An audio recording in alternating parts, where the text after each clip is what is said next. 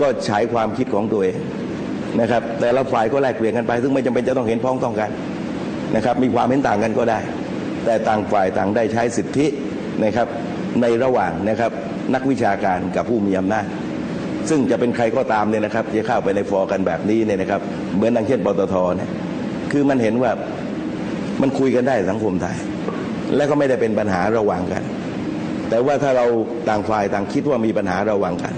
ถ้าขยับหนึ่งเดี๋ยวขยับสองเดี๋ยวจะเป็นสามเดี๋ยวจะเป็นนำพาสู่การโค่นล้มนะครับ ถ้าเริ่มต้นความคิดแบบนี้เนี่ยนะครับ มันก็คิดได้กันทั้งนั้นนะแต่ว่าอย่างที่ผมเรียนนะครับว่า โดยกระบวนการปกติที่ผ่านมามา เห็นมาสองคณะแล้วเขาก็อยู่ตามครบตามวาระไม่มีปัญหาอะไร ตามเวลาที่ประกาศรถแมพเอาไว้ โดยสภาพการก็เป็นก็เป็นเช่นนั้น แต่ระหว่างทางเนี่ยนะครับ มีความคิดเห็นในเรื่องต่างๆกันบ้าง มันก็ไปกันได้นะครับ นี่คือ ที่ผมเองก็อยากจะเห็นว่าในฟอร์ของนักวิชาการและนักศึกษานั้นเขาควรจะได้แสดงดังเช่น กรณีของพลังงานนะครับตกพลังงานนี่เห็นนะครับ โต้เถียงแรงกันสุดเวียนแต่เขาก็อยู่ในวงกันนั่นแหละครับ แล้วก็เป็นวงการเสวนาต่างฝ่ายต่าง งัดหลักฐานของตัวเองนะครับ ไม่พอใจก็ว่ากันบ้าง แต่ก็เป็นอาการกันแบบนี้ และผมเชื่อว่าจะดีกันตามลำดับนะครับ เพราะฉะนั้นเนี่ยนะครับไอ้ฟอร์แบบที่ว่านั้นก็ควรจะเกิดขึ้น ในมหาลัย อย่างที่ผมได้เรียนนะครับว่าสถานการณ์ในขณะนี้นั้น เราอยู่ในท่ามกลางบรรยากาศ ที่ผมยกตัวอย่างว่าเหมือนอยู่ระหว่างเขาควายนะครับ ซึ่งก็ไม่รู้ว่าจะโดนฟิดกันเมื่อไหร่ เพราะฉะนั้นในกระบวนการนะครับการสร้างความเข้าใจระหว่างกัน ทั้งที่มันยังไม่มีอะไร แต่ว่าความที่ว่าพวกเรานั้นก็จะถูกบุคคลนะครับ หลากหลายความคิดจะมาฉายภาพ ว่าจะต้องอย่างนั้นบ้างอย่างนี้บ้าง อย่างไม่รู้จักจบสิ้น ซึ่งก็เป็นชะตากรรมที่เราก็เจอกันตามลำดับ ผมมักจะพูดตลอดระยะเวลาว่า คนที่เป็นแกนนำนั้น ไม่ตายก็ติดคุก แต่ที่สำคัญที่สุดนั้นก็คือว่า เราจะยึดยืนหลักกันได้อย่างไร อะไรเนี่ยนะครับที่เป็นปัญหาของส่วนรวมที่เราจะต้องรักษานะครับ และประคับประคองสถานการณ์ระหว่างกันนั้น ก็ยังเป็นภาระเป็นหน้าที่ที่สำคัญ ผมเรียนกับท่านทั้งหลายนะครับว่าที่ผมพูดเมื่อตอนต้นนั้น เพื่อที่จะอธิบายความว่าในขณะนี้นั้นเนี่ยถ้าเราใจไม่แข็งกันพอนั้น แล้วท้ายที่สุดเนี่ยนะครับ สิ่งที่เราจะได้ประเมินสถานการณ์ในตลอดเส้นทางได้ตรงจุดนั้นคือข้อมูลที่เป็นความจริง ถ้าข้อมูลที่ไม่เป็นความจริงนั้น เราจะประเมินสถานการณ์ผิดพลาดทั้งหมด และเวลานี้ที่ผมส่งสัญญาณเตือนเมื่อตอนต้นนั้น เพราะรู้ว่าไอ้ที่ดำเนินการทำนั้นกำลังสร้างความเท็จ เพื่อให้บุคคลอื่นหลงเชื่อ และก็เพื่อนะครับ ตัวเองจะได้ประโยชน์จากการใช้ข้อความเท็จอันนั้น แต่ว่าในระยะยาวนั้น เมื่อมีเวลาที่จะได้คิดอ่านถึงสถานการณ์ต่าง ๆ นั้น ก็จะมีการประเมินหรือมีการคาดการณ์ที่ผิดพลาดนะครับ เมื่อ ประเมินสถานการณ์ที่ผิดพลาด การกำหนดจังหวะย่างก้าวก็ยิ่งผิดพลาดขึ้นมาใหญ่ นี่คือสถานการณ์ในอดีตก็เป็นเช่นนี้นะครับ เพราะฉะนั้นเนี่ยนะครับในแวดวงนะครับในทางการขับเคลื่อนอะไรต่างๆนะครับ ไม่ว่าอยู่ในส่วนใดกันนั้น เราจะอยู่ในส่วนของการรับรู้เท่าทันนะครับ ผมเนี่ยนะครับตาดูหูฟังรอบแล้วก็รู้ว่าควรจะตัดสินใจกันอย่างไรเมื่อถึงเวลา ที่พูดนำเสนอความคิดกันแบบนี้ก็เพื่อว่า ในแวดวงนี้ต้องไม่มาหลอกกัน เพราะว่าถ้าสร้างข้อมูลที่หลอกกันนะครับ สร้างจินตนาการอันเป็นความเท็จนะครับหนึ่งนอกจากเป็นคนที่ร้ายเกียรติใช้ไม่ได้แล้วนั้น จะทำให้ขบวนนี้นะครับ ยิ่งจะประเมินสถานการณ์ที่ผิดพลาด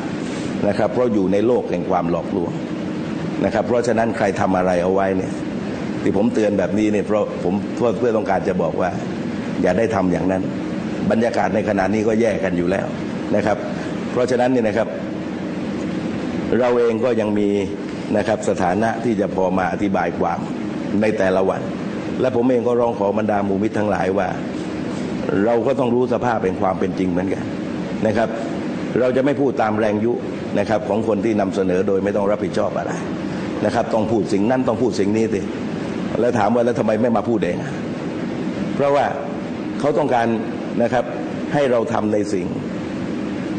นะครับ ที่เขามีความต้องการ แล้วท้ายที่สุดโทรทัศน์ก็ถูกปิด ไม่สามารถที่จะเดินได้ เราไปทำตามเขาเนี่ยนะครับ ก็ตามใจเขาคนเดียว แต่เรายังไม่จะไม่สามารถรักษานะครับ โทรทัศน์ช่องนี้ไว้ให้กับกระบวนการประชาชนแห่งนี้ได้ เพราะฉะนั้นเราจึงไม่สามารถทำตามที่ใจอยากนะครับ ทั้งเราความจริงเราก็เป็นปุถุชนนะครับ ท่านอาจารย์เจ้าคุณปัญญาเคยบอกว่า ให้ดูใครเป็นพระอรหันต์ไปกินมะขามเปียกต่อหน้าน้าน้ำลายไม่ไหลน่าใช่ก็ข้อเท็จจริงเราก็เป็นปตุเป็นปุถุชนธรรมดา มีความรู้สึกเป็นปกติ เพียงแต่ว่าเรารู้ต้องรู้จักเนี่ยนะครับ การยั้งคิดในสถานการณ์นี้ และก็ต้องรักษานะครับ ส่วนใหญ่เอาไว้ได้ อย่าได้มีความอารมณ์มีความสะใจ เราผ่านทั้งความสะใจความเจ็บปวดมามากมาย เพราะฉะนั้นหลักคิดณขนาดนี้นั้น เราต้องกำหนดเหตุผลให้มากที่สุดนะครับ เพราะเรารู้ว่าในวันข้างหน้านะครับ ถ้าประชาชนเขาได้บริโภคเหตุผลที่เราร่วมกันนำแสดงกันนั้น เขาจะได้กำหนดอนาคต ไม่ว่าในระยะใกล้เรื่องการปฏิรูปประเทศไทยอันนำไปสู่รัฐธรรมนูญฉบับใหม่ปลายทางมันสู่ถึงนั้น แล้วก็จะจบลงตรงที่มีการเลือกตั้งและเมื่อเลือกตั้งแล้ว นะครับ ผลการเลือกตั้งของประเทศไทยจะไม่มีปัญหาอย่างไรกัน ที่เราจะต้องมาคิดอ่านกัน เพราะฉะนั้นจะคิดในมิติของความสะใจกันเป็นตอนๆนะครับ หรือจะหลอกกันเป็นตอนๆนั้น มันจะไม่เป็นประโยชน์อะไรกันเลย แต่ว่าถ้าเราอยู่ในโลกแห่งความเป็นจริงนะครับ ตั้งหลักตั้งสติกันให้ได้นะครับ และอะไรที่เป็นความจริง อะไรที่มันไม่เป็นความจริง แล้วเราก็เลือกแยกแยะสังเคราะห์กันให้ได้ เพราะว่าประสบการณ์ที่เราเรียกว่าบทเรียนนั้น มันเป็นราคาแพง นะครับตลอดระยะเวลาหลายปีของกระบวนการที่มีพี่น้องประชาชนมากที่สุดนั้น เราได้ผ่านเรื่องยากลำบากมามากมาย เพราะฉะนั้นเนี่ยนะครับการคิดอ่านการดำเนินการใด ๆ นั้น จึงมีความจำเป็นว่าเราไม่สามารถผิดพลาดกันได้อีกแล้ว เพราะฉะนั้นเมื่อไม่ต้องการจะผิดพลาด ความรอบคอบนั้นต้องเป็นจุดที่สูงสุดจริงอยู่เนี่ยนะครับในกระบวนการที่กว้างใหญ่ไพศาลนั้น เราไม่สามารถทำให้ทุกคนคิดอย่างเดียวกันได้ แต่ความเป็นหลักประชาธิปไตยนะครับ เรามีความเห็นที่แตกต่างกันได้ แต่ว่าโดยหลักนะครับเราเองก็พิสูจน์ตนกันเสมอมาว่า ในระหว่างทางกันนี้นะครับ ใครเป็นอย่างไรนั้น ประชาชนเขาจะเป็นผู้พิสูจน์นะครับ ไม่มีใครตำแหน่งแกนนำไม่ใช่สมบัติติดตัว อยู่คู่ใครไปตลอดชีวิตไม่ใช่นะครับ มันอยู่ที่พฤติกรรมของคนนั้นๆนะครับ ว่ามีพฤติกรรมอย่างไรถ้าไม่จริงคนก็ไม่ตามไปนะครับ ถ้าจริงคนก็ร่วมตาม ในกระบวนการนี้กันไป นี่คือโลกแห่งความเป็นจริง เพราะฉะนั้นเนี่ยนะครับณเวลาแห่งนี้นั้นนะครับ เวลาที่เราได้มีโอกาสมานั่งสนทนาแลกเปลี่ยนปรับทุกนะครับ เพราะตลอดระยะเวลาที่ผ่านมากันนั้น มันอยู่ในช่วงเวลาของการแสดงความเป็นห่วงระหว่างกันนะครับ ไม่เห็นหน้ากันนะครับ พี่น้องก็เป็นห่วงว่าถูกฆ่าบ้างถูกขังบ้าง เพราะต่างฝ่ายต่างมีความห่วงใยซึ่งกันและกัน แต่ว่าเมื่อเรามีโอกาส ได้มานั่งสนทนากันในโทรทัศน์ และพี่น้องก็แลเห็นว่าพวกผมทุกคนนั้นนะครับ ไม่ว่าผมนัทวุฒิอาจารย์ธิดาคุณวิราการหรือใครก็ตาม คุณหมอเวงและคณะทุกคน คุณสมบัติบุญงามมนงและหลายๆคนก็เราก็ได้ฉายภาพว่าเราก็ยังใช้ชีวิตเป็นปกติ และสามารถฉายความคิดเท่าที่สามารถจะฉายได้ บนพื้นฐานของการไม่ทรยศต่อประชาชน และไม่มีการลักษณะที่สอพลอแต่เป็น เวทีของการให้เหตุผลระหว่างกัน เราต้องตอกย้ำในสิ่งนี้ แล้วก็กำหนดลิมิตกัน เพื่อต้องการรักษาไม่โทรทัศน์ถูกปิด และก็ปฏิบัติกันตามนี้นะครับ ไม่พูดตามแรงยุตามแรงกดดันนะครับ ให้เราควบคุมตัวเองไม่ได้ แล้วก็หลุดปลิดออกมานะครับพวกนั้นก็สาใจแต่ว่าปิดช่องทางการสื่อสารของพี่น้องประชาชนกันไปทั้งหมด ผมต้องเรียนพี่น้องอีกครั้งเนี่ยนะครับว่าวันเกิดปีนี้ 5 ตุลาคมนั้นที่ เดิมเนี่ยนะครับ นัดหมายว่าจะไปจัดที่หลวงพ่อทวดที่เขาใหญ่นะครับ นครราชสีมานะครับ แต่ว่าเนื่องจากว่าฝ่ายความมั่นคงในพื้นที่ เขาก็ร้องขอนะครับ ไปยังเจ้าของสถานที่ว่านะครับบรรยากาศภายใต้กฎอัยการศึกนั้นนะครับ ก็ร้องขอเถอะผมเองก็เมื่อได้รับรู้ข้อนี้ก็ก็เกรงใจนะครับ พระคุณเจ้าที่ที่ดูแลสถานที่รับผิดชอบสถานที่เจ้าของสถานที่เนี่ยนะครับ ก็ไม่ก็ปีนี้ก็ของดกันไปก่อน เพราะว่าทราบว่าพี่น้องนี่นะครับ จองรถจองลากันมากมาย บางส่วนในจองห้องพักล่วงหน้ากันแล้วนะครับ ความจริงพวกผมเนี่ยนะครับคือเกมเต้นอาหารมากี่คนก็เลี้ยงกันให้ครบหมด แต่ว่าเมื่อเป็นบรรยากาศอย่างนี้ เราก็ไม่ควรนะครับไปสร้างภาระนะครับกับสถานที่ ผมก็บอกว่าพี่น้องที่มีเวลาผ่านไปทางนั้นนะครับ ก็ไปกราบหลวงพ่อทวดนะครับ องค์ใหญ่ก็คงจะเสร็จเดือนพฤศจิกานะครับ หลังจากนั้นก็คงอยู่ท่ามกลางการตกแต่ง แต่ว่าองค์เล็กก็เสร็จนะครับดังเช่นปีที่แล้วที่ท่านทั้งหลายไปกัน นอกจากนี้ยังมีพระพิฆเนศนะครับ พระนารายณ์ทรงครุฑทรงราหูเนี่ยนะครับ ก็เป็นบรรยากาศภาพภาพเอกสถานที่นะครับเปลี่ยนแปลงไปมากมายนะครับถ้าท่านทั้งหลายได้ไปก็ไปกราบตรงนี้เราก็มีความสุขก็ที่ผ่านมาพี่น้องก็ไปกันเป็นจำนวนมาก ในช่วงที่ผ่านมา เพราะฉะนั้นเนี่ยนะครับ ปีนี้ก็แจ้งอีกครั้งงดนะครับ ไม่มีการจัด ที่ไหน เดี๋ยวบอกว่าถ้าอย่างนั้นที่บ้านก็ตามมาที่บ้านอินพิเรียนก็ตามมาอินพิเรียนนะครับ เอาเถอะพี่น้องเห็นหน้าผมในรายการก็แล้วกันนะครับ ไว้ปีหน้าที่บรรยากาศที่พอจะจัดได้ เราค่อยว่ากันนะครับ ขณะนี้เราก็เห็นนะครับ แล้วก็ไม่ต้องเราจะได้ไม่สร้างความวิตกกังวลนะครับ ให้กับคนที่ติดตามสถานการณ์ว่านะครับเราจะไปก่อเหตุอะไร ซึ่งความจริงไม่ได้มีอะไรเลยนะครับ วันที่ห้าก็อย่างมากก็ชวนทำบุญนะครับ ใส่ชุดขาวไปร่วมทำบุญเหมือนกับทุกปี แต่ว่าเมื่อบรรยากาศไม่สะดวกก็ไม่เป็นปัญหาระหว่างกันนะครับ เมื่อให้เหตุผลมา เราก็รับรู้ก็แจ้งยกเลิกกับพี่น้องนะครับ เพื่อพี่น้องจะได้นะครับ ไปยกเลิกการจองรถนะครับ ในแต่ละพื้นที่รถบัสบ้างรถตู้โทรเข้ามา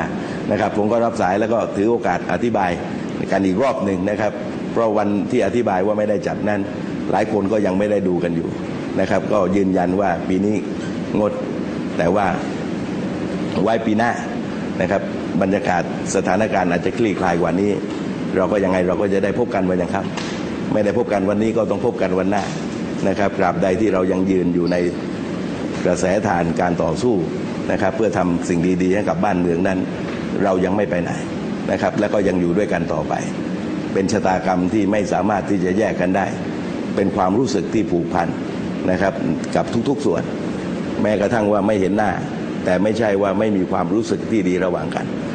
ความรู้สึกนี้ไม่มีวันหมดนะครับกับชะตากรรมของพวกเรา เพราะฉะนั้นเนี่ยนะครับวันนี้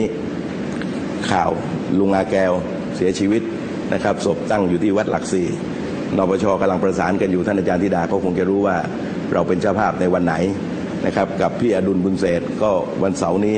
หนึ่งทุ่มนะครับร่วมเป็นเจ้าภาพงานศพ แล้วก็ในส่วนอื่น ๆ นั้นเราคงจะได้มีการ นัดหมายช่องโทรทัศน์ก็คงจะได้นะครับปรับให้เข้าคุณภาพที่สูงสุดนะครับ รายการก็เกือบครบร้อยนะครับ เดินกันไปได้ด้วยดี จะได้เป็นสถานที่นะครับ เป็นช่องทางที่จะได้สื่อสารระดมความคิดระหว่างกันนะครับ แม้ว่าเราไม่ได้เจอกัน แต่เราสามารถใช้ความรู้สึกผ่านหน้าจอโทรทัศน์นะครับ ก็ยังมีความอบอุ่นระหว่างกัน ต้องขอบคุณพี่น้องทุกท่านนะครับ แล้วก็ พรุ่งนี้เวลาเดิม 9 โมงนะครับก็พบตามปกติ แล้วก็รวมกระทั่งเวลา 6 โมง 40 นะครับในวันนี้นะครับถึง 2 ทุ่มเราก็พบเหมือนเดิมนะครับ วันนี้ต้องขอบคุณท่านทั้งหลายที่ได้ติดตามรายการมาตั้งแต่ต้น พบกันวันพรุ่งนี้ครับ สวัสดีครับ